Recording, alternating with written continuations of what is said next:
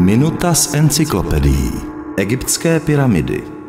Nejstarším a jediným dosud zachovaným divem světa jsou egyptské pyramidy. Tu první nechal postavit již za třetí dynastie, tedy asi 2700 let před naším letopočtem, král Džoser a jeho stupňovitá pyramida v Sakáře tak představovala úplně nový typ hrobky. Celkem se v Egyptě nachází více než 100 pyramid, řada z nich je však polorozbořená a z některých zůstaly jen základní kameny vystupující z písku.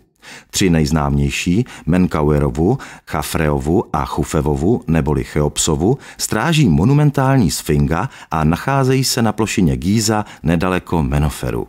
Cheopsova pyramida je zároveň největší v celém Egyptě. Vysoká byla původně přes 146 metrů, stojí na čtvercové základně o délce strany 230 metrů a na její stavbu bylo použito více než 2 miliony vápencových kvádrů. Minuty z encyklopedií pro vás připravuje internetová encyklopedie www.cojeco.cz.